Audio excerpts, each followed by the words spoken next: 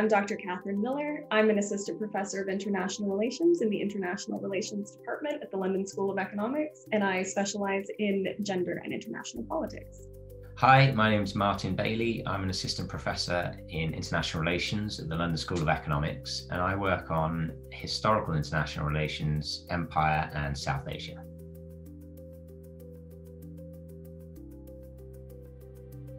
So, my research is broadly involved with the study of death and destruction and how we might think about that differently. So, in a more theoretical sense, what I do is I look at the ways in which different forms of social relations and social order relate to violence, and how violence in turn informs social relations and social order. And I have a specific interest in social relations and orders relating to gender, sexuality, race, class, ability, and so forth. And so, one of my current projects, the book manuscript that I'm currently working on, is looking at the politics of supporting the troops in the United States and the United Kingdom during the early years of what is often referred to as the global war on terror.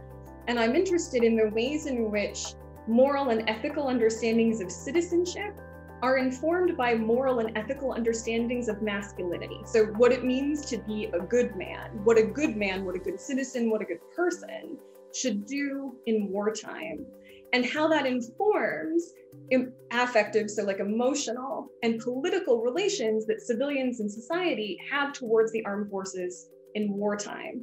And I'm taking a pretty critical look at the ways in which these forms of support and solidarity as they get entangled with gender norms about manliness, masculinity, what it means to be a good person in wartime, uh, can have inadvertent effects in terms of what that means for viable democratic debate and dissent, again, in the context of war. So I'm interested in empire and how it operates or operated as a political form uh, and how that varied across time and space. I'm particularly interested in what we might call frontier spaces. So those spaces on the peripheries of imperial rule. And the reason for this, I think, is that empire or the way we think about empire within international relations uh, is often challenged when we look at these frontier areas. They were often sites of territorial ambiguity and of sovereign ambiguity. Uh, they often exhibited various forms of governing practices and contestation over those practices. And they also generated a, a vast amount of knowledge uh, that tells us something about the worldview of empires.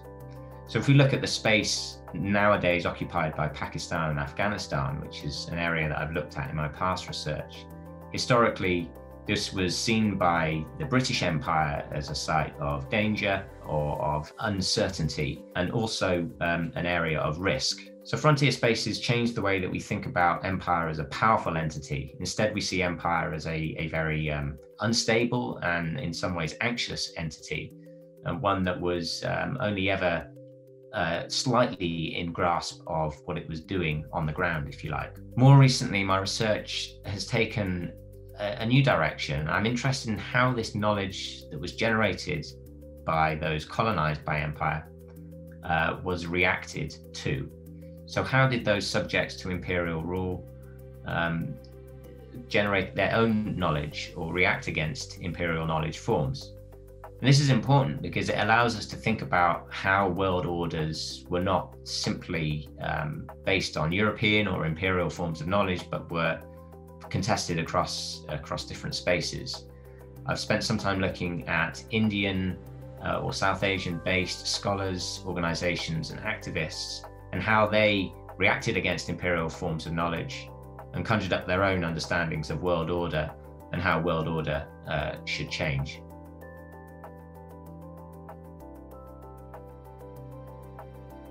So, in terms of the impact I see or hope to see coming out of my broad academic research, there's at least sort of two audiences or two lanes.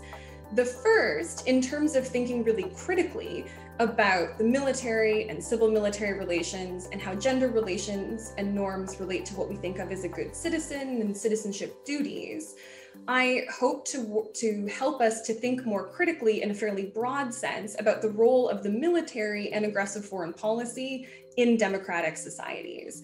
And this involves working with non governmental organizations, can involve working with students, with my own students, but students also at the secondary school level, and also with politicians who are engaged in processes of democratic oversight relating to the armed forces. The second uh, sort of branch of my impact and outreach activities actually relates much more directly to the armed forces themselves.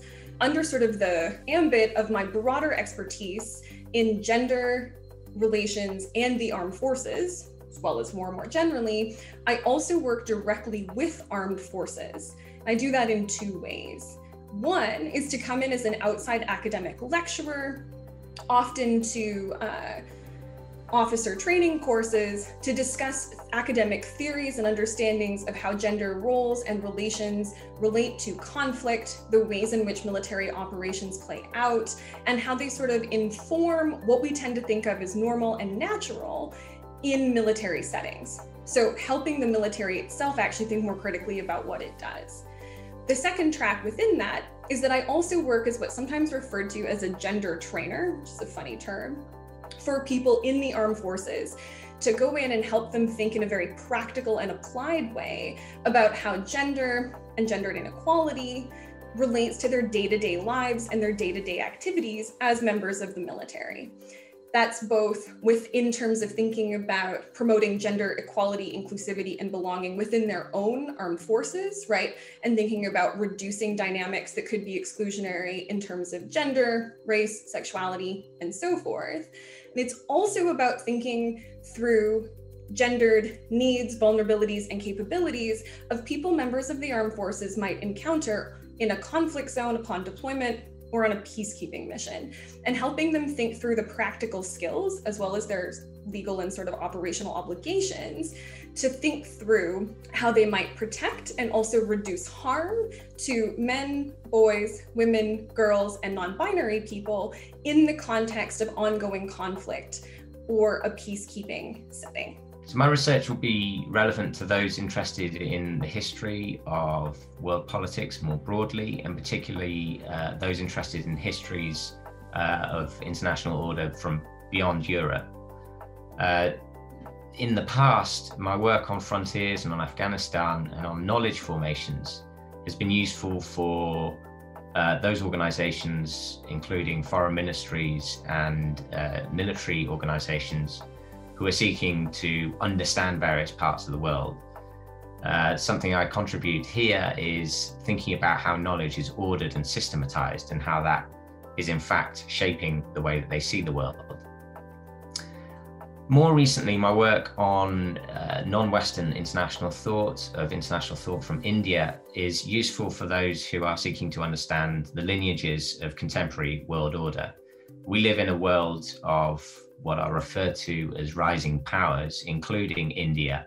And it's now important that we understand uh, world order from their perspective and the perspectives uh, and the histories of world order thinking. Very often, the histories that I'm looking at from the Indian perspective have been hidden or submerged or overlooked. And it's important that we pay closer attention to these histories in order to understand South Asia's current position in world politics today.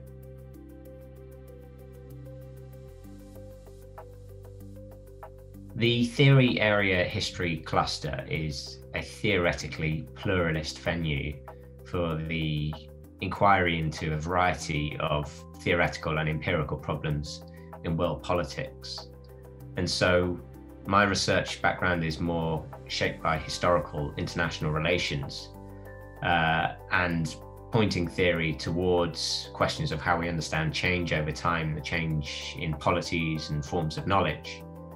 Um, but the cluster provides a forum for having conversations about my own research, as well as the research of others in the department and PhD students, faculty, and invited speakers. We're actually not incredibly concerned with nailing down the exact meaning of these words really directly or prescriptively, but instead we're interested in like providing a space in which people who have work that falls under this rubric or could fall under this rubric are invited to come and discuss and share. The cluster reflects where the discipline of international relations is today in the sense that it's not so shaped by the idea of theory as kind of different traditions or, or isms, for example. And in fact, maybe the discipline has never been that way. We tend to think eclectically about theory, uh, that theory comes from many different sources.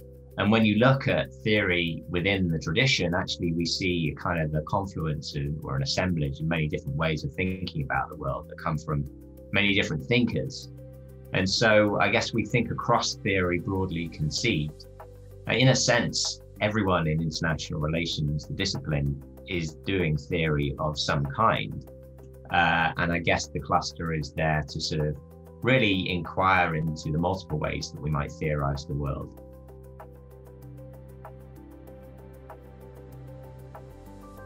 The cluster provides a space for people with ostensibly different research interests and skills to come together, to discuss things, and to work together, right? So I'm thinking now, for instance, um, you and I, along with our colleague Dr. Yuna Han and two PhD students, Katarina Kuhn and Irina Morlino, just finished a collaborative project looking at the politics of, unfortunately, death and grief and social order in relation to the sort of emergent COVID 19 crisis. Because one of the things we also do is try to use theory to help us think about really pressing social and political problems.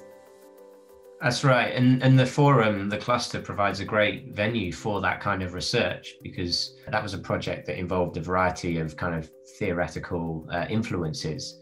So there were sort of ideas taken from transitional justice, as well as more of your kind of work on social scripts and, and grief. Um, and then from my perspective, being able to contribute historical case study uh, uh, empirics on the Spanish flu pandemic, the so called Spanish flu pandemic in the UK in 1918 19, in order to show how theory can be used to historical cases or applied to historical cases to show the kind of enduring logics and social logics of pandemics. Interestingly, how those social logics are forgotten and not memorialized, which I think is quite important, one of the quite important findings from the project.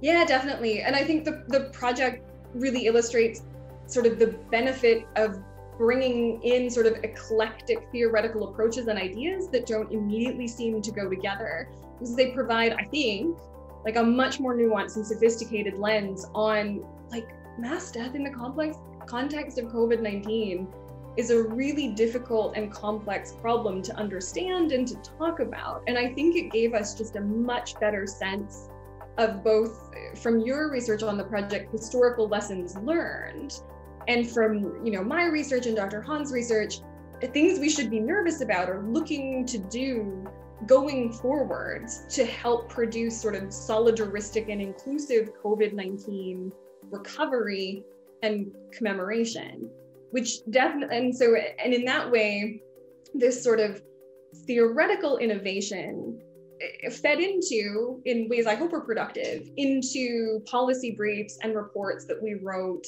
moving forward for politicians, policymakers, people working in the, the non governmental sector, as well as this project that LSE Libraries did that it was such a privilege for us to be involved in, aimed at primary school children and helping them to think about working with grief and loss, either um, in their own lives or the lives of their friends and families in the context of COVID, which I mean, it's tragic that that's necessary, but it's amazing to be able to help support that type of publicly oriented and socially impactful work.